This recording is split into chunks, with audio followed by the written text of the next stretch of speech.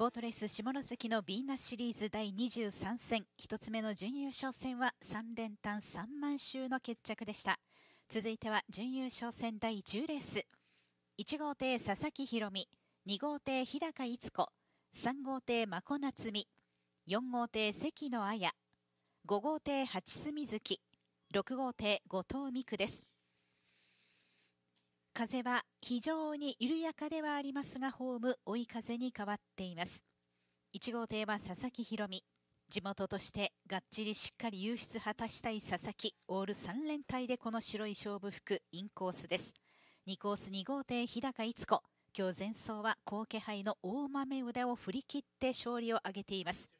3コース3号艇真子夏美。伸びを中心に動きが光ります。スタートも決まっています3号艇の真子。4コースが角です。4号艇の関野綾。昨日はこの4コースからまくっています。関野の隣5コースには5号艇の八隅月。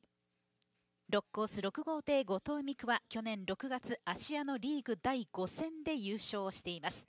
準優勝戦2つ目第10レースインコースから1番、2番、3番、4番、5番、6番、スタートしました。センターから3番と4番が好スタートを決めていった。さあ内枠勢どうか。1周の1マークは3号艇の真っ向がまくって動く1号艇の佐々木まくられて残せない。内側から2号艇4号艇5号艇が続きましたがまくりきった3号艇の真子夏美。スタートは前提正常でした。3番の真子がトップに出ました。2番手は4号艇の関のその内切り返しては2号艇の日高。トップ旋回3号艇の真子続いて4号艇の関の内側から2号艇の日高ですが2番手は4号艇です。関の綾3番手が2号艇の日高逸子。上位体系は3番4番2番でレースは2周目入りました。先頭で1マークをクリアします3号艇の真子。先取る2号艇の日高を差し込んでいきます4号艇の関野さばいています2番手は4号艇の関野綾。まだ2艇進ほどで2号艇の日高逸子、その後ろは6号艇後藤美久、5号艇八隅月、1号艇佐々木宏美となっています。2周の2マーク、先頭3号艇の真子夏美、続いては4号艇の関野綾、3番手が2号艇の日高逸子でホーム側、上位体系は3番、4番、2番でこれより最終周回です。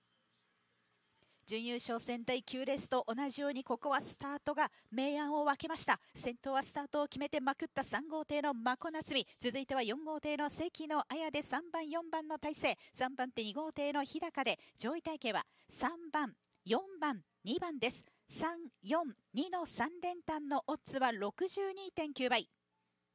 一撃決めてみせました先頭は3号艇の真子夏美そして2番手が4号艇の関野綾です。3番手が2号艇の日高逸子で準優勝戦第10レースまもなくゴール。3番ゴールイン4番ゴールイン2番ゴールイン6番ゴールイン5番ゴールイン1番ゴールインです。